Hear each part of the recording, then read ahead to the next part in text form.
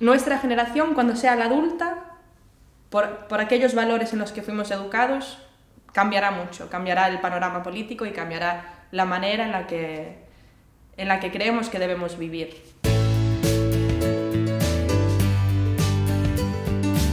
Do you think that the storytelling of the present fits the perspective of young people? I think it doesn't. I think they are our hope, but no one wants to bet on them. That's why I set up a YouTube channel only gathering interviews of people in their 20s. I think that hate just stirs up more hate. Um, when you teach hate to your children, they're going to learn to hate others. When you, someone asks me where are you from, I said Iran, they start all these negative things about nuclear bomb, about like uh, Islamic rules, about uh, uh,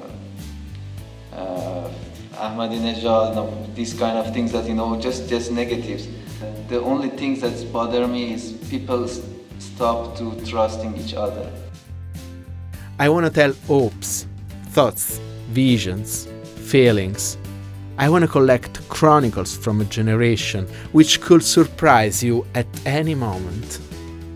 Y en Cuba es, es, el futuro no, el futuro es tan incierto que no, no, no existe. Entonces la gente vive al día a día.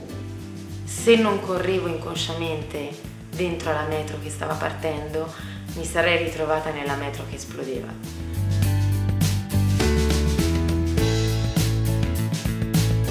Trovo che sia la mancanza di conoscenza dell'estraneo che crea paura e quindi la conoscenza è l'unica cura.